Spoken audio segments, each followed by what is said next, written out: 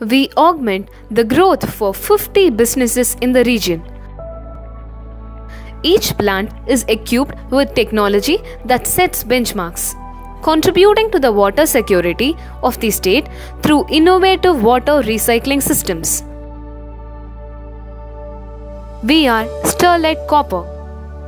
To know more about our company, please watch this video.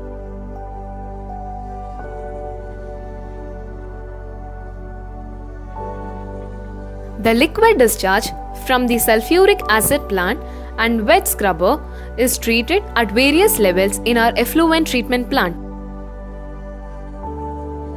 The treated water is then further polished through our reverse osmosis process to make it equivalent to drinking water standard, which is then used in our manufacturing process through recycling.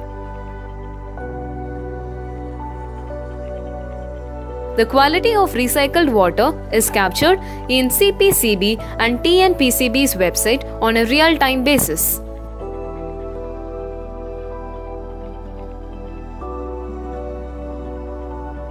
Sterlite Copper have been a pioneer in understanding the community needs and transforming their lives through various corporate social responsibility initiatives. Being said that, we are also looking forward to answer various queries. Every Saturday, we have been organizing plant visits for various stakeholders. To understand more about our safe manufacturing process, we welcome you all to visit our plant.